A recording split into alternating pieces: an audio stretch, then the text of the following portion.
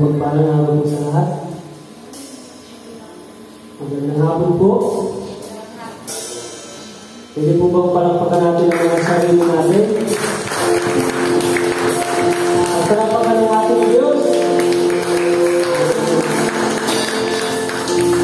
As we sing a worship song, pwede po tayo magnilay-nilay, mag-pray, mag-preparation mamaya po sa pagsabay sa mga awitan. Let's sei, esse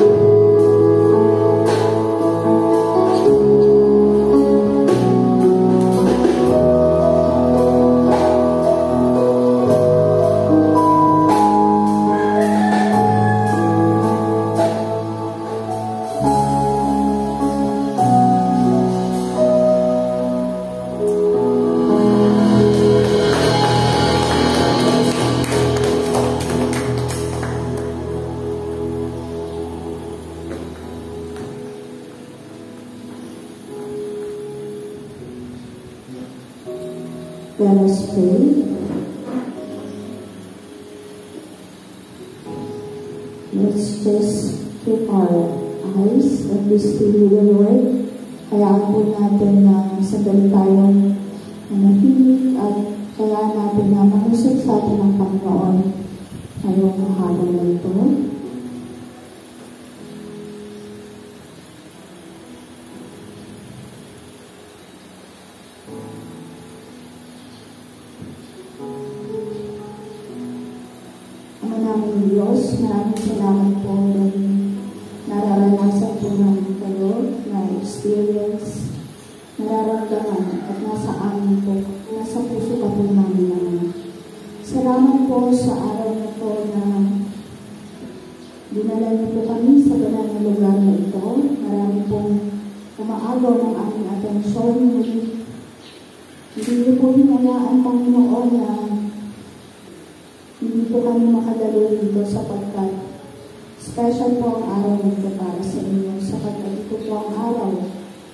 Ipinalaga mo upang makamit ka, Panginoon. Sa araw din mo ito, Panginoon, ay muli namin pinagdiriwang yung muling pagkabuhay.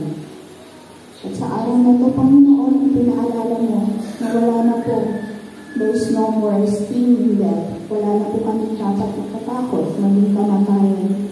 Sapagkat napagtagumpayan mo ito, Ama. You have overcome death, and now you are a living proof, Panginoon, na kami po ay muli ng bubuhayin. At wala na po, Panginoon, sting ang anumang mga pinagdadaanan namin, mga pagsubok man, pagkat sa iyo, Panginoon, na sa iyo ang pag-asa. You are our resurrection, Father, our Redeemer, our hope. And Father, we thank you, Lord, sapagkat kayo po ang kumpletong kabayaran sa lahat po ng mga nagawa namin pagkulang, pagkakamali, pagkakasala, Panginoon. Inayaran mo po ito, Panginoon, in full sa pamamagitan ng Panginoong Jesus. At wala na po kami, Panginoon, dapat gagawin kundi tanggapin, Panginoon, ito ng buong pananampalataya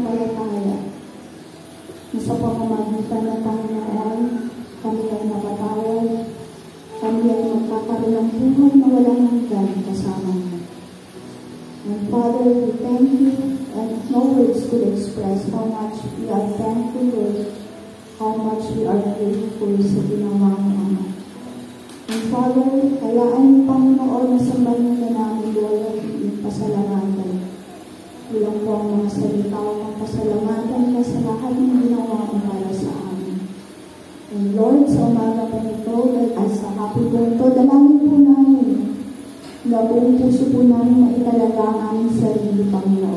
Iwaksi po namin anuman po ang bumabagabag sa amin at maging present po kami ngayon Marinig po namin ang salita ng maliwanag, Panginoon, at maipamuhan namin, Panginoon, at magkaroon po ng tunay na transformation at pagbabago sa aming buhay. Salamat po, Ama, at pinadalangin po namin ang magsasalita sa unahan, Lord. Tago po sa iyong siyang mangusap sa bawat isa sa amin. Kayo po ang Diyos na makapangyarihan. Kayo po ang Diyos na tanging makakapagpabago sa amin. At lahat po ito ay pinapalala namin sa pangalan ng Ama, ng Espiritu Santo, sa pangalan ng Panginoon Jesus. Amen.